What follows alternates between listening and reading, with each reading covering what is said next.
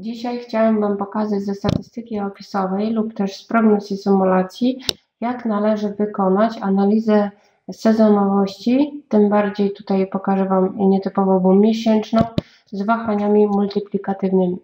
W moim analizowanym szeregu, który składa się z 36 obserwacji z 3 lat w układzie miesięcznym, ciężko jest zauważyć, czy w ogóle występuje sezonowość.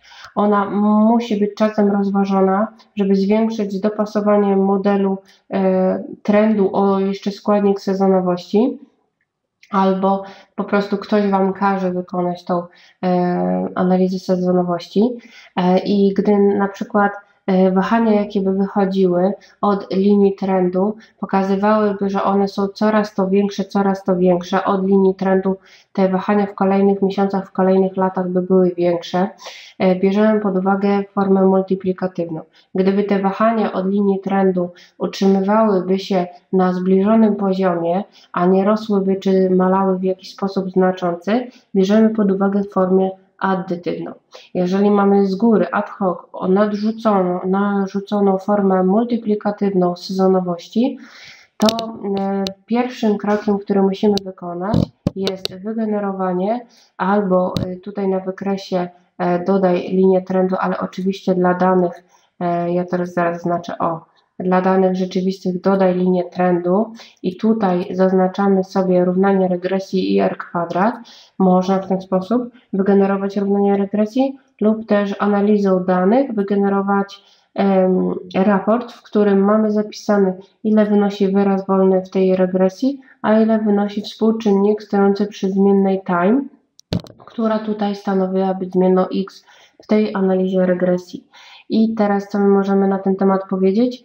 E, dzięki temu raportowi regresji możemy na pewno powiedzieć, że zmienna time wykazuje tutaj na tyle istotny, e, istotne oszacowanie, że na pewno musimy ten trend liniowy uwzględniać i trend liniowy można wyjaśnić aż 90 prawie 4% sposobu przebiegu wartości rzeczywistych naszego szeregu.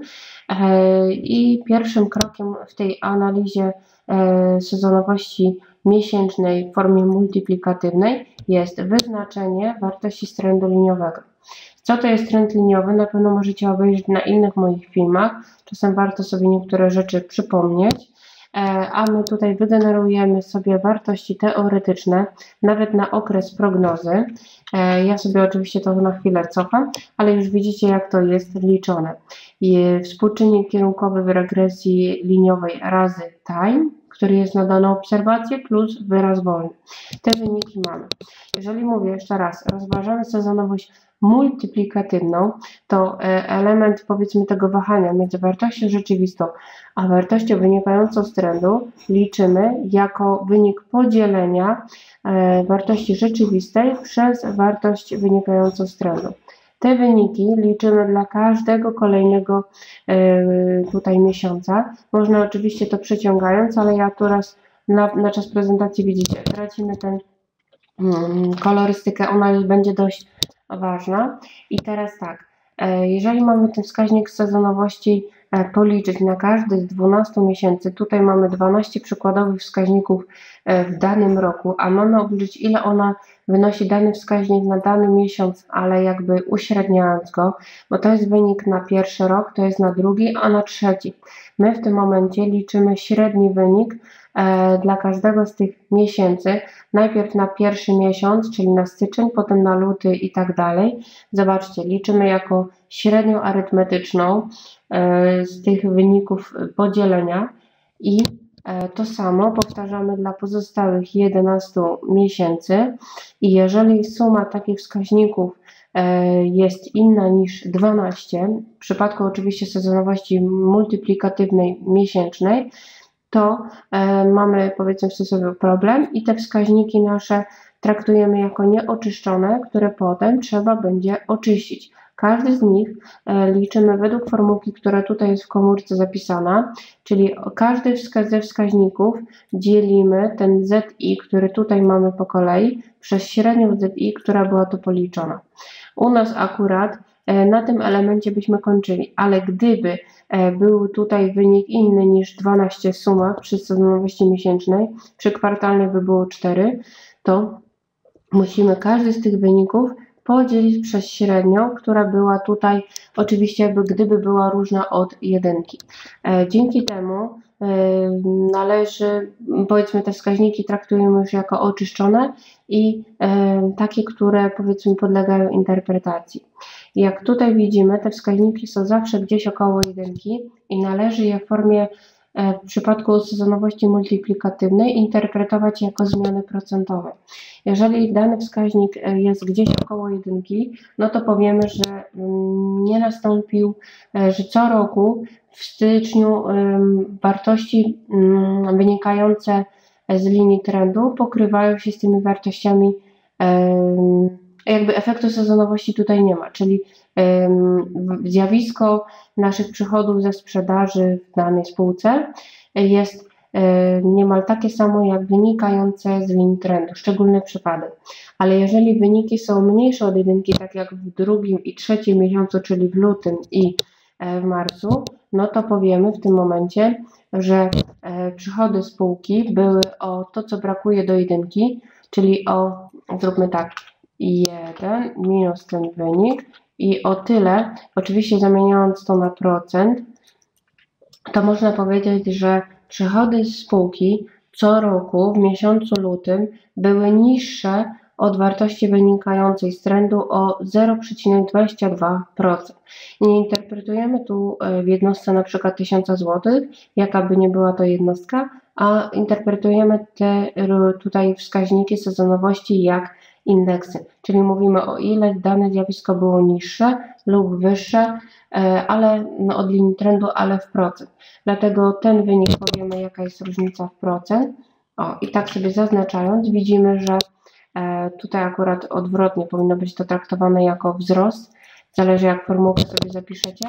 Ta różnica tutaj może by było, o, to zróbmy tak. Po prostu e, tutaj jest różnica spadek o 0,22% co roku w lutym. E, można powiedzieć, że tutaj co roku w listopadzie e, przychody ze sprzedaży są wyższe w niewielkim stopniu, bo o 0,1% w porównaniu do wartości wynikających z linii trendu. I jeśli studujecie tylko statystykę, na razie statystykę opisową, tu kończycie, interpretujecie te wskaźniki sezonowości. A, jeszcze jedno, w sumie ważne. Musimy wyznaczyć ostateczną wartość prognozy, która jest liczona jako wynik przemnożenia wartości trendu razy odpowiedni oczyszczony wskaźnik sezonowości na dany yy, miesiąc. Jeżeli mamy styczeń, to tutaj musi być wypisana wartość dla stycznia. Jeżeli tutaj przykładowo e, też jest, o zróbmy tak, tu jest luty, no to musi być wartość wynikająca z miesiąca lutego i ta wartość jest tutaj zapisana. Czy odpiszecie z ręki, czy jako odwołanie, to już Wasza sprawa. Ważne, żeby prognozę wyznaczyć jako wynik przemnożenia wartości trendu razy odpowiedni oczyszczony wskaźnik sezonowości, bo zakładamy, że mamy sezonowość miesięczną w formie multiplikatywnej, dlatego jest tutaj zapisane razy. Oczywiście ten dymek, co wyskakuje, to tam jest błędnie, bo powinno być nie plus, a razy, więc tym się nie przejmujcie. Ważne jest, że tutaj te formułki mamy poprawnie zapisane i wtedy te wartości rzeczywiste, czyli kolorem niebieskim u mnie zaznaczone, są podobne do wartości wyznaczonych według modelu trendu liniowego i wskaźników sezonowości mm, miesięcznej multiplikat, w formie multiplikatywnej. E, I jeżeli już teraz e, jakby wchodzimy w temat prognozowania i symulacji, możemy dodatkowo po zakończeniu takiego zadania e, sprawdzić, jaka powiedzmy wyznaczyć dopasowanie tej odpowiedniej metody do danych rzeczywistych, czyli wyznaczyć błędy trafności prognoz typu ex post czyli mapę, RMSE i tak dalej, to co będzie nam potrzebne i to liczymy na podstawie wartości rzeczywistych, przepraszam tu, i tu wartości prognoz, które e, wygenerowaliśmy i z trendu i z sezonowości multiplikatywnej, ale to dopiero jak wchodzicie w temat prognozowania.